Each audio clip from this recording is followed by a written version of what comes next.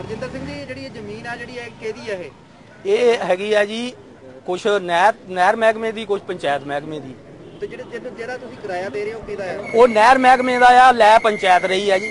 ਤਾਂ ਪੰਚਾਇਤ ਨੇ ਸਾਡੇ ਕੋਲੋਂ ਕਿਰਾਇਆ ਲਿਆ ਸਾਡੇ ਕੋਲੋਂ ਪਈਆਂ ਆਪਣੀਆਂ ਉਹਦੇ ਰਸੀਦਾਂ ਪਈਆਂ ਆ। ਜਿਹੜੀ ਅੱਜ ਦੁਕਾਨਦਾਰਾਂ ਤੋੜੀਆਂ ਗਈਆਂ। ਤੋੜੀਆਂ ਸਾਨੂੰ ਕੋਈ ਨੋਟੀਫਿਕੇਸ਼ਨ ਕੋਈ ਕਿਤੇ ਉਹ ਨਹੀਂ ਆਇਆ ਜੀ ਉਹਦਾ।